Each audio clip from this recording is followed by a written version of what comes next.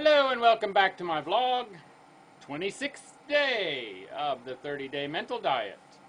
You can avoid old age. You are as old as you think you are.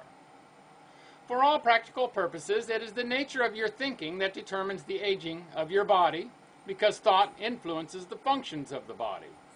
A negative pattern of thought can slow down or inhibit the action of any organ or process so that it shows evidence of what is termed old age.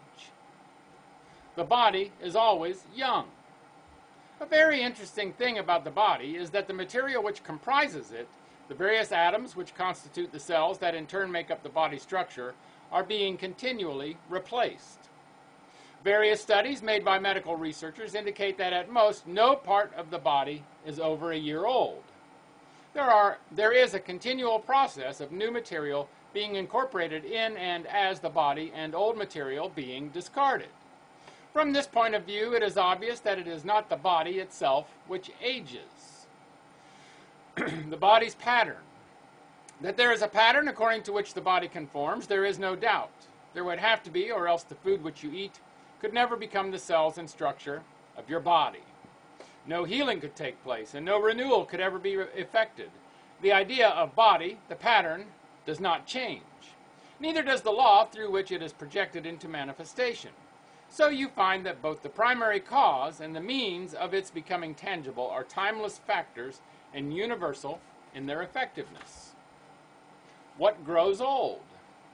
The material which constitutes the body is constantly new. The manner in which it becomes the physical structure of the body is in accord with the great law of life, which never lessens in its action.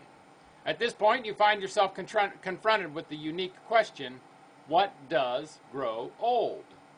Not that there are not other factors involved, but the main thing which can influence the degree of aging that you experience is the process of your own thought. Theoretically, your body should not grow old, but you can and do permit your thinking about it to age, which is, of course, reflected in its functioning. The body is a mirror. Many a person at 40 appears and acts as a person of 80, and on the other hand, you see a person at 80 who has more vitality than a person of 40. The source of such differences is found in the way the individual thinks. Many people feel that the age of 50 is the dividing line, that this is the point when old age starts, and of course the result is that at 50 they do enter old age. You seem to be as old or as young as you think you are. At most, any point in life, you can introduce into your body the evidence, evidences of old age by what you think about yourself. What counts is not what you see in the mirror, but what you mentally want to see in it. A better picture. You need to establish a better mental picture of yourself, a picture of the way you want yourself to be, not of what you fear you will become. There is a natural process of maturing involved in all living things, but there is no reason why you should hasten or prematurely develop an advanced state of senility when you obviously should have many more years of happy living ahead of you. There is also the fact that you should ignore the evidence of statistics, that certain things happen to most people at certain ages. You are yourself and not most people, and what happens to your body is directly related, related to what you think of yourself. There is no necessity for your physical condition to follow any statistical average. Does thinking age?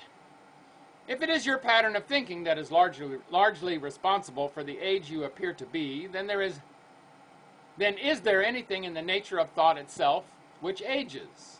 Most evidence indicates that the ability to think does not age or deteriorate. Rather, the contrary appears to be the case. Some research has indicated that there is an active maturity of thinking that can only be attained after 50 when most people are ready to give up and quit. There's also evidence that people who think in a creative and constructive manner live longer than others. A youthful mind.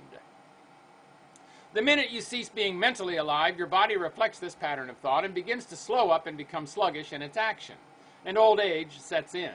If you can train yourself to be active and productive in the way you think, and maintain a concept of a healthy, vital body, the body itself will readily conform to the pattern you have established for it.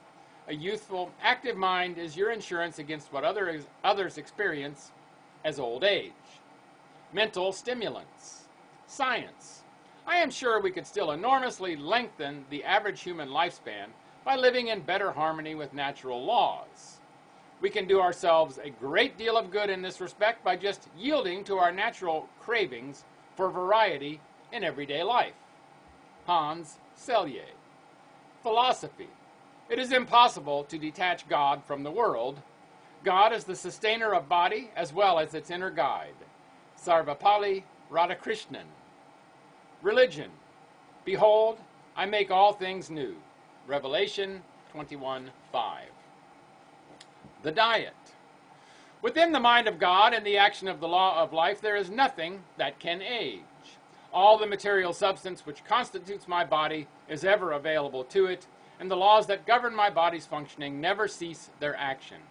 Life knows what to do and how to do all that is needed for the full expression of itself through me.